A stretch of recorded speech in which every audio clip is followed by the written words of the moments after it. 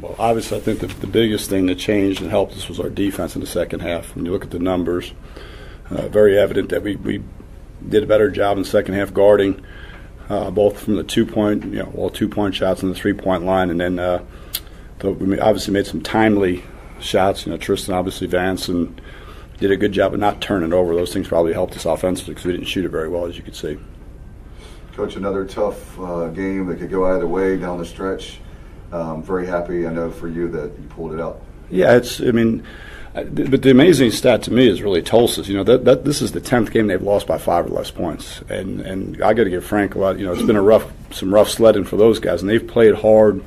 I thought in the first half they had really good energy. They really obviously shot the ball real well from the three point line. They're not statistically haven't done, you know, a great job, but uh, I, thought that you know we we did enough. We got a little better uh, defensively in the second half, which helped us, and like we talked about, we made some plays to, to, to win the game. Coach, obviously it's senior night. Vance Jackson, his last uh, game in a pirate uniform, and Minges. Just talk about the impact he was able to make right away and being able to contribute straight out of the transfer portal this year. Yeah, it was a big impact. We all know that. I mean, he, he came in, he had a really good, he's had a really good year for us.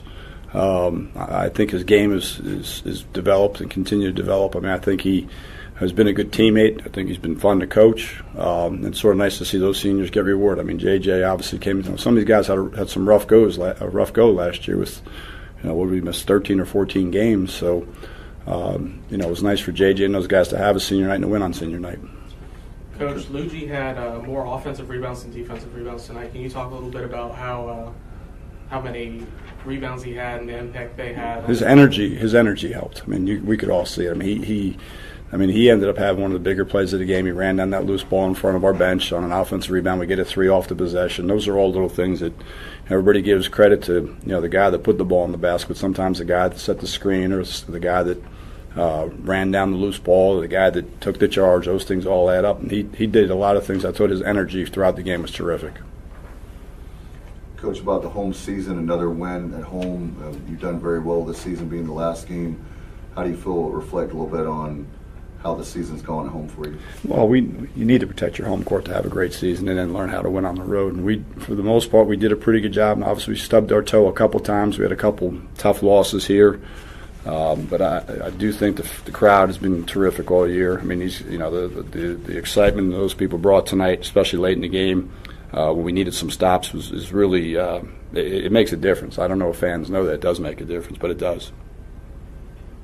Coach, uh, you kind of submitted a winning season this year. Um, obviously, some things didn't go your way mid- midway through the season, but uh, it's got to be good to see things kind of trending in the right direction when it comes to this program. Yeah, I mean, we, you know, you always look back at the end of the season, and there's always a lot of what ifs. I mean, and, and what if, what if, you know, and no one cares. That's the, the reality of it. It's a it's a it's a result based based business. So you you try to figure out. I, I, I, to the kids' credit, I mean, when we went through that stretch we lost six in a row, they could have mailed it in. I mean, that that's an easy thing to just say. Hey, listen, this isn't going because practice doesn't change. It doesn't get any easier, and you know, man, this is really hard. We're not winning, but there's no reward.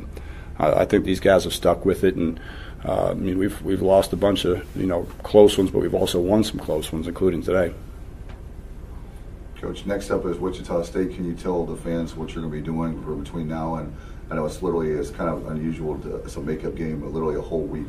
No, this is the regular. We, we lost the home game, so this is the regular. So we'll we'll, we'll uh, I mean, it, it's it'll be. I think it's probably a good time to have a bye week, and that sounds crazy after you just you know won a couple. Um, we haven't had a bye week. We've been playing three games or two games a week every week, which is unusual. Our bye week was supposed to be when we played at South Florida, one of the bye weeks, and I think it'll be good for the guys. I, I think from a mental standpoint of you know have a day off. We'll, we'll, we'll give these guys off two days during the week. You know, we'll, we'll be off tomorrow. We'll practice a couple days. We'll give them another day off in, in, in, in, preparation for Wichita State, and I think they could use it physically and probably mentally too. But uh, we'll be able to get some time to work on ourselves and also also prepare for, for the Shockers.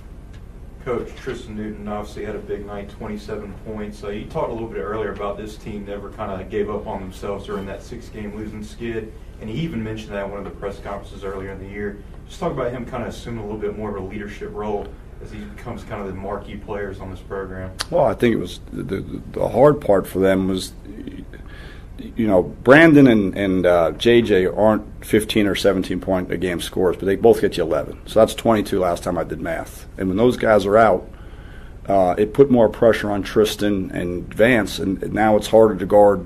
It's easier to guard two guys that can get you, that can beat you in three or four. And I mean, those guys, you know, the, the cutting and those. Type, and I think Tristan had to take a lot of pressure, and you know, and now they double him on ball screens, and they played differently without Brandon and without JJ out there. And, uh, I think he's gotten crafty. I mean, you know, today's different. You know, he, it's against a matchup zone or switching man. I thought he did a good job of not not playing passive, getting downhill. Um, but uh, you know, he, he he finds way to score ways to score as you guys have seen. Coach, as far as Brandon Suggs, would he be available with Wichita State?